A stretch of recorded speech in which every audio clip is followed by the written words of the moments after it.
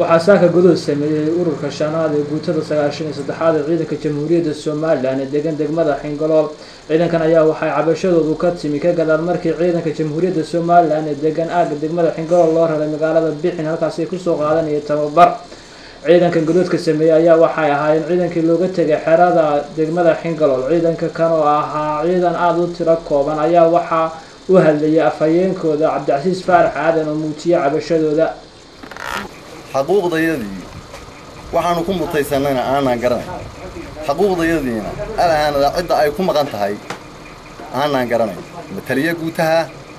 ma taliyaha saldhigga ma jananka ciidamada ma ma ma ma gaashaandhigga.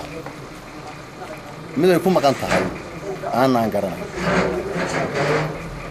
waxaanu marka iyadoo intaasi jirto waxaanu marka dawladda ogeysiinaynaa jamhuuriyadda somalilan ogeysiinaynaa madaxweynaha iyo wasiiradiisa kala duwan heedaha kala duwan. Oo kale waxaanu ogeysiinaynaa in ay si deg dega arrintaa uga soo jawaabto. Xaquuqdayadii meesha ay ku maqan tahay inay uga soo jawaabto ciidankan gadoodka sameeyey ayaa waxaa eedda dhalada uga tuureen ciidanka jamhuuriyadda somalilan madaxdooda iyagoo ku eedeeyay inay lunsadeen xuquuqdoodii asaasiga ahayd ee u lahaayeen ciidama ciidan ahaan. Ciidankii halkaasi ka hadlay waxaa ka mid ahaa madaxa caafimaadka ee xerada xingalool labiyo tobnaad iyo bisha tan oo sanadkan ugu horraysay midna maanaan helin.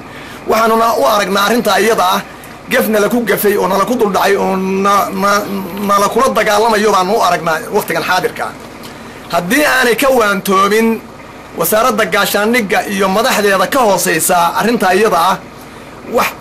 wada shaqayna iyo wax xidhiira oo naga dhexeeya oo naloo ku iman karaa ma jirto.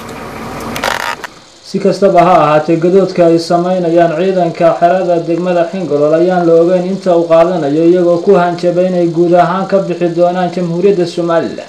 haddii aysan helin xuquuqdooda asaasiga ciidanka kan oo ah ciidanka degan degmada xingalool ahna xuduudka bariga ee jamhuuriyadda somalilan ayaa waxay ku eedeynayaan wasaaradda gaashaandhigga inay lunsatay xuquuqdooda asaasiga ahayd ee ciidannimo. Waxaana sheegeen haddii aan laga hortegin tallaabadan ay ku kacayaan madaxda guutooyinka iyo saraakiisha sarsare ee wasaaradda gaashaandhigu inay lumin doonaan ciidannimadooda cabdiqani xaamid somaali janal xingalool